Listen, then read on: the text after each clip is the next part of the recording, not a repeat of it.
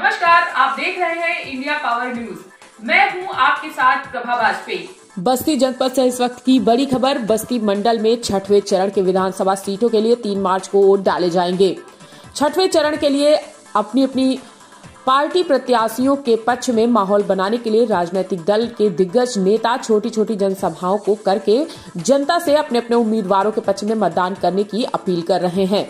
इसी क्रम में सपा प्रत्याशी त्रम्बकम नाथ पाठक के पक्ष में पूर्व कैबिनेट मंत्री राम प्रसाद चौधरी ने परशुरामपुर में एक जनसभा को संबोधित करते हुए सपा प्रत्याशी पाठक के पक्ष में जनता से मतदान करने की अपील की। वहीं 307 विधानसभा हरैया से पार्टी, सपा पार्टी के उम्मीदवार पाठक जनसभा को संबोधित करते हुए भावुक हो गए और मंच पर ही रोने लगे, जिसका वीडियो सोशल मीडिया पर जमकर वायरल हो रहा है।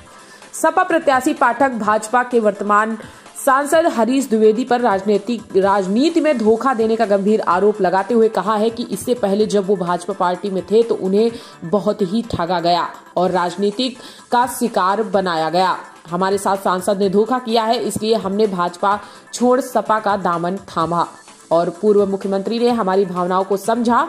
इतना कहते हुए मंच पर ही रोने लगे। मीडिया से बातचीत करते हुए पूर्व कैबिनेट मंत्री रामप्रसाद चौधरी ने बताया कि हमारी पार्टी पाँचों विधानसभा जीत रहे हैं और इन विधानसभाओं में जनता खुद चुनाव लड़ रही है।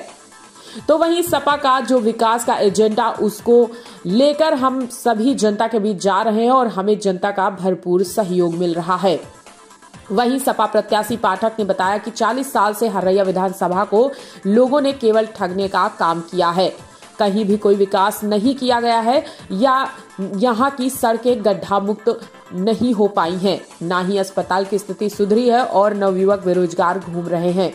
हमारी सरकार बनने पर सबसे पहले हम किसानों के हित के लिए जो कार्य होगा उसको करेंगे। उसके बाद बेरोजगारों को रोज़गार देंगे। अपने विधानसभा की सड़कों, अस्पतालों, शिक्षा व्यवस्था को सुधारने सुधारेंगे सपा नेताओं के मंच के माध्यम से विपक्षी पार्टियों पर जमकर हमला। बोलते हुए कहा कि भाजपा सरकार में किसान नौजवान, व्यापारी आदि वर्ग घुटन महसूस कर रहे हैं। महँगाई अपने चरम सीमा पर पहुँच गई है। भ्रष्टाचार को ज़बरदस्त इस सरकार में बढ़ावा मिला है, जिससे समाज का प्रत्येक तबका प्रभावित हो रहा है।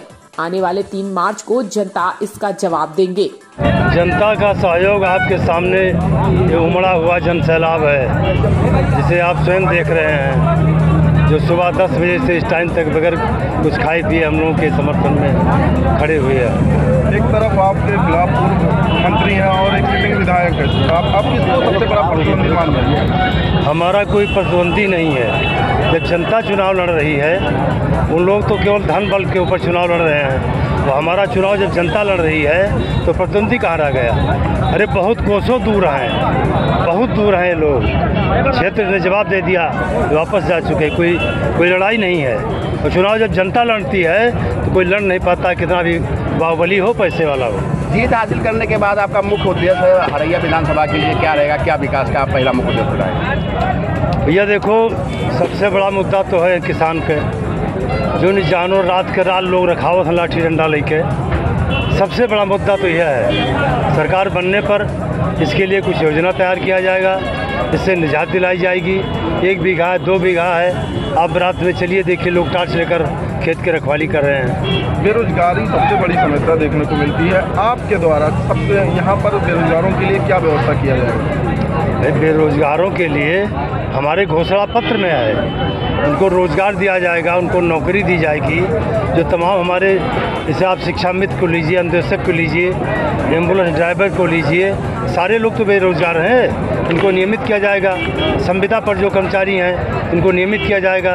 इनको रोज़गार दिया जाएगा रोज़गार बेरोज़गारी भत्ता दिया जाएगा, रोज़गार लाया जाएगा क्षेत्र में, जिससे लोगों को रोज़गार मिले, नौकरी मिले, सुख समृद्धि आवे। आपके द्वारा विधानसभा में क्या क्या योजना लाई जाएगी बेरोजगारों जो, जो हमारी सरकार की योजना है वही तो विधानसभा की योजना आएगी। उससे हटकर थोड़े कुल लाएँगे। अरे हम नौजवान को रोज़गार देंगे इनको बढ़िया सुविधा दिया जाएगा शिक्षा की सुविधा है अस्पताल की। क्योंकि आप देखिए हरैया में सौ बेड का अस्पताल पड़ा हुआ है जो नहीं बन पाया अभी तक। परशुरामपुर के लिए आप क्या करेंगे जबकि जिला का सबसे अंतिम छोर है? अभी तक यहाँ विकास नहीं हो पाया। भैया परशुरामपुर में तमाम टूटी फूटी सड़कें हैं और परशुरामपुर को हम 40 साल से देख रहे हैं। उन्नीस सौ बयासी से लगातार प्रमुख रहे हैं। परशुरामपुर की समस्याओं को हम जानते हैं। बेरोजगारी जो है तो हैया है। किसान हित में काम करेंगे। तो तमाम सड़कों को आप लोग देख रहे हैं। इनका बढ़िया सड़क बनवाएँगे। अच्छी सुविधा देंगे इनको।